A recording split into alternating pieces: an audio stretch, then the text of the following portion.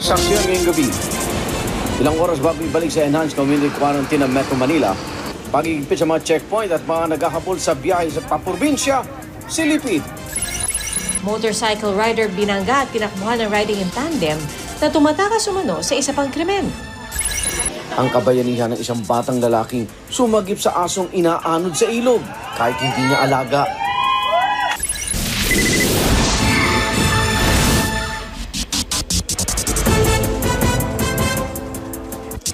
Binawi na ng PNP sinabing bawal ang paghatid sundo sa mga apor na mga driver na hindi naman apor.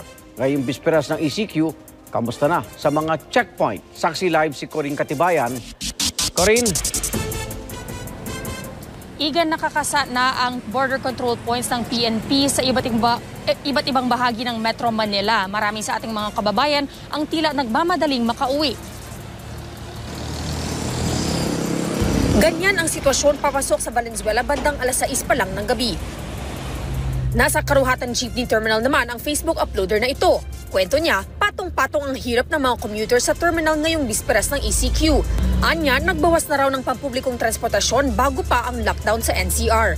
Mahabang pila ang inabutan niya rito. Hindi na nasunod ang physical distancing. Dagdag pa ang malakas na ulan. Sa bahagi ng North Luzon Expressway sa pagitan ng Balintawak at Valenzuela, bumigat din ang traffic alas 9 ng gabi. Alas 6 ng umaga, bukas pa ihigtingin ang paghihigpit sa mga PNP checkpoint. Kung isa kang authorized person outside residence o APOR, ihanda ng ID, Certificate of Employment at iba pang dokumento. Kung isa ka naman sa mga problemado kahapon sa pagbabawal sa mga non-APOR driver na maghatid sundo ng mga APOR, binawi na yan ng PNP chief. Ako po'y tagapag, ah, tagapag-deliver lamang ng, ah, ng mensahe ng mga guideline. Huwag po kayo magagalit sa akin. Ang non-APOR, eh, hindi po pwedeng lumabas. Opo. At hindi pwedeng maghatid sundo. Pero sinasabi din po nga natin na kung kasama naman siya noong mismong ah, ah, worker APOR, eh ikukonsider na rin po siya. pag hindi binawi, eh talagang mag, magkakalituhan. No? Binuin mo, ah, yun sa checkpoint, magta-traffic. Di ba? Hindi lang doble, tripling traffic yan. Bawas alalahanin para sa mga gaya ni Polly Manuel na naghahatid sa anak na APOR. Eh ngayon, okay na dahil mahihatid ko na bukas. Ang problema ko kung pag-uwi ko, kung makaka-uwi ako. Pagbalik ko, oh, pagbalik ko, eh baka sitahin ako. Para iwas sitahan, dapat may hawak ang non-APOR driver na Certificate of Employment ng APOR. Certification mula sa APOR na nagsasaad ng pangalan ng driver, contact number at detalye ng sasakyan. Kailangan din ang kopya ng business permit ng employer ng APOR.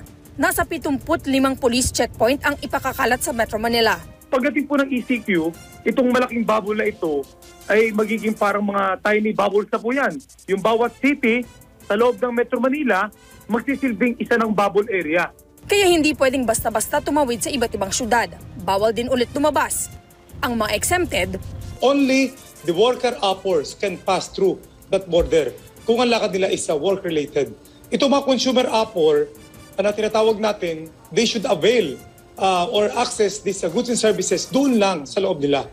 Uh, so, but of course, for other APOR, ito mga emergency, may bakuna, so allowed sila uh, doon naman. Kung for example, meron kang chemotherapy, liliban ka ng city, okay yon. kaya sa bisperas ng ECQ, may mga nagla-last minute shopping. Sinamantala kasi hindi naman alam ng asawa ko mga bibilin. Hindi po namin sure if kung mag extend after ng August 20. So, sinisure din namin na meron kaming stock. Double time ang mga bagger at cashier para mapabilis ang usad ng pila. Paalala ng Trade Department, bukas pa rin ang mga pamilihan kahit ECQ. kung nagpapanik buying yung katabi mo, ma- matatakot ka rin. So, ikaw rin magpapanik buying. So, sana iwasan natin yung ganun. Kung may mga namimili na bago ang ECQ, may ilan namang problemado sa panggastos, gaya ni John na huling araw sa pinagtatrabahuang appliance center. Buntis pa naman ang kanyang misis. Gugutom kaming dalawa. Tapos yung ipon namin para sa panganakan na sa susunod na buwan ng asawa ko, baka magamit namin ngayong ECQ.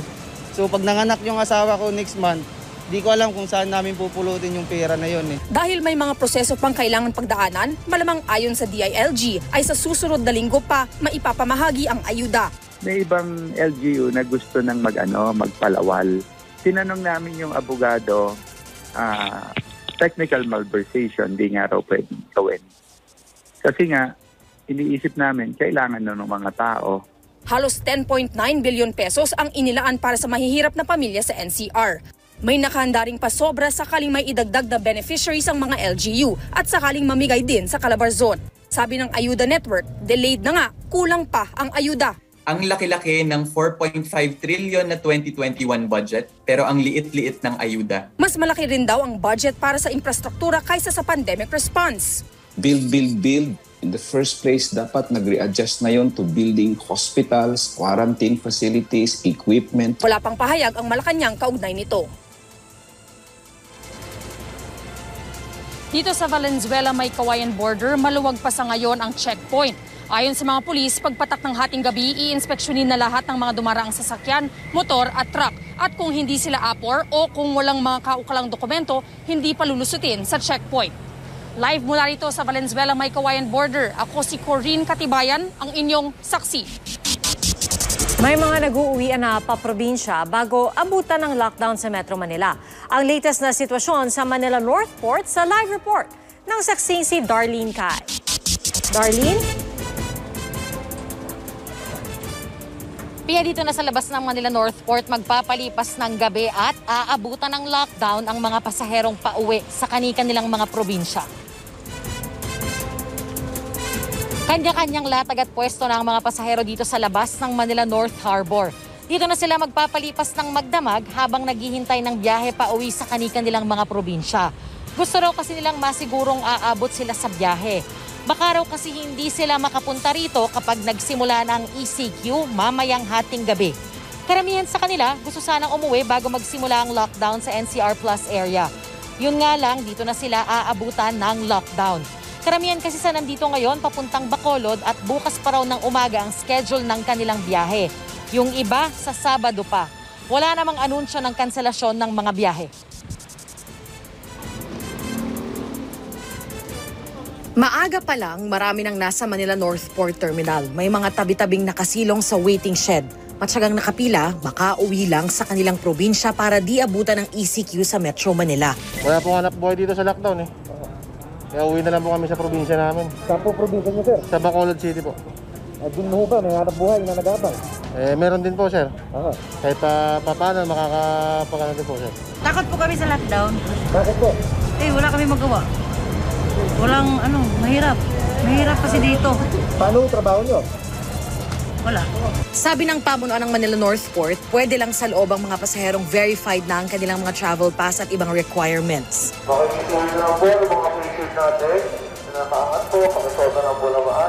May paghigpit din sa health protocol sa Paranaque Integrated Bus Terminal o PTEX.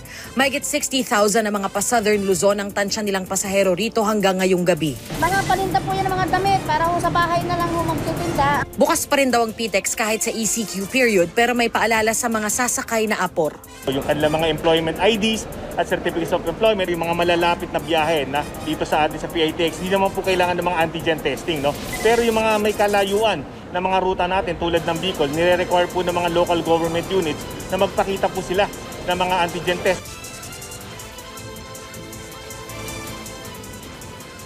Pia mahigpit daw yung Manila Northport sa pagpapatupad ng kanilang health and safety protocols. Kaya hanggang dito lang sa labas yung mga tao, hindi sila pwedeng pumasok hanggat hindi pa sila babiyahe. At live mula rito sa Maynila, ako po si Darlene Kai, ang inyong saksi. Nakabangga ng rider at tumakas pa ang dalawang umano'y riding in tandem na snatcher sa Caloocan. Huli naman ang isa pang suspect sa panloloob sa Pasig.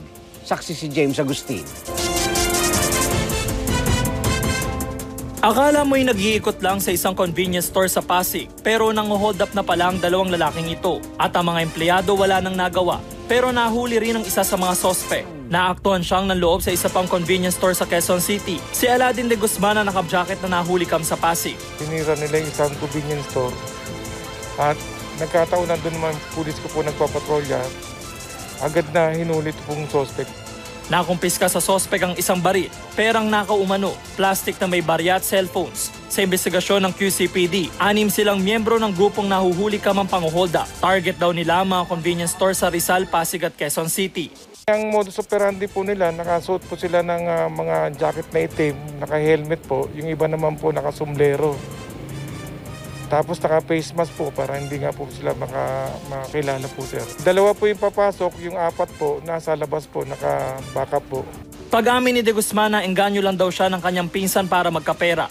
Iikot lang po kami, papasok lang po. Pag may nakita po kaming walang tao, papasok lang po namin, kakausapin lang namin yung bantay. Ayun lang po, tapos labas na po agad kami. Hindi po kami nananahit ng tao. Nakulong na noong 2018 si De Guzman sa kaso may kinalaman sa droga. Sa Caloocan, sumemplang ang isang rider matapos banggain ng motorsiklong ang mga sakay. Riding in tandem na galing umano sa panghablo. Meron pong snatcher po daw na tumatakbo. Ah, paliko na po yung pinsan ko, ito po yung motor na to. Pag paliko niya po, dire-diretso yun matulin habang nagkabanggaan po sila.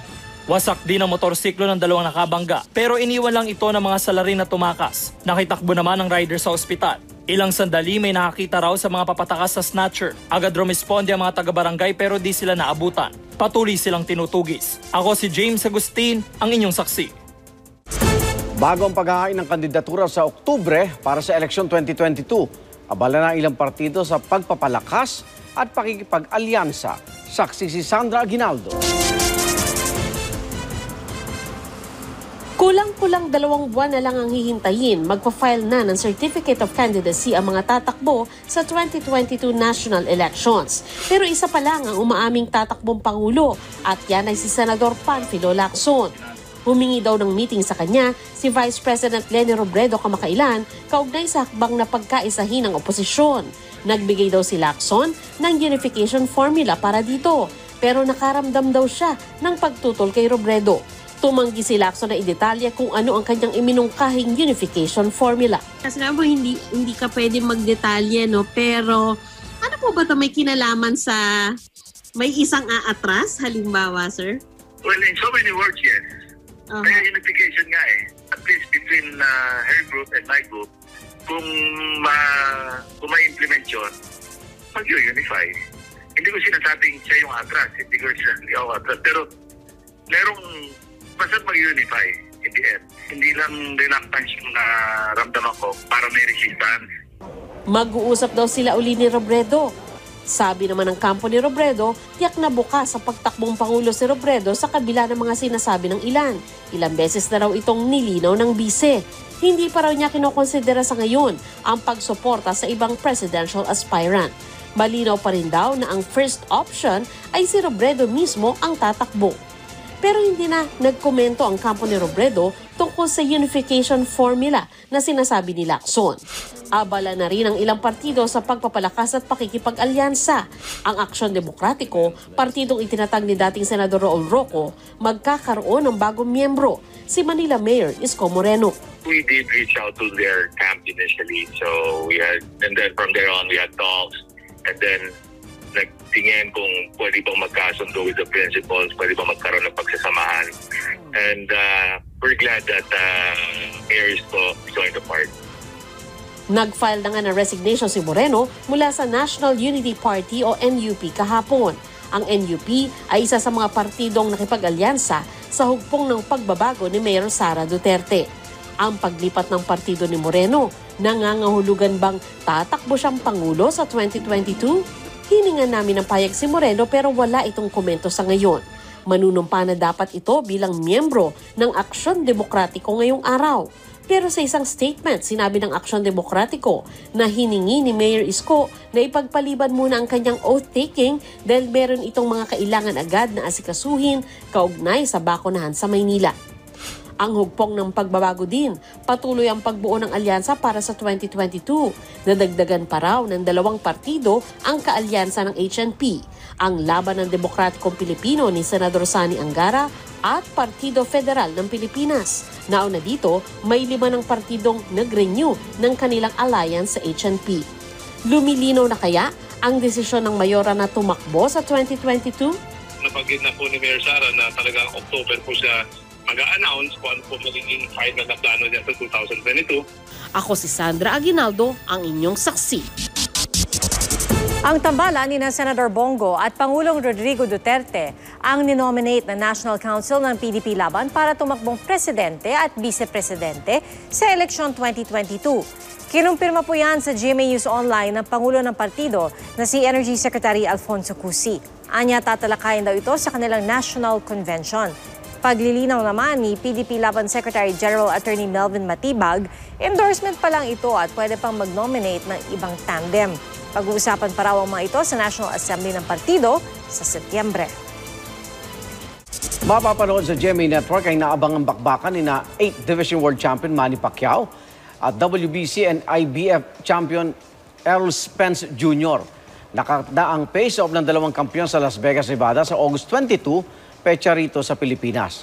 Mapapanood yan sa GMA at mapapahinggan sa Super Radio DCWB sa August 22, alas 11 ng umaga.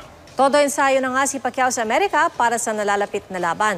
Masaya raw siyang makabalik sa ring matapos ang dalawang taon. Ito naman, Igan, kwento ng kabayanihan ng isang grade 10 student sa Binyan, Laguna. Ang kanya po sinagip, isang aso.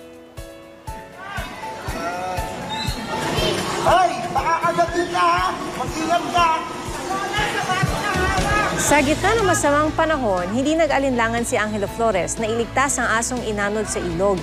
At nang maabot ang aso, pilit niya itong iniangat sa ligtas na lugar. Bayani ang turing ng Animal Kingdom Foundation kay Angelo, natularan daw siya sana ng marami sa pagtulong sa mga hayop. At ang iga ng mga balitang ating sinaksihan. Abangan niyo pa rin ating bonus shot. Ako naman, Arnold Clavio. Ito ang inyong Liga ng Katotohanan. 25 taon nang naglahatid ng balita. Ako po si PR Kanghel. Hanggang bukas para sa Pilipino. Sama-sama tayong magiging saksi!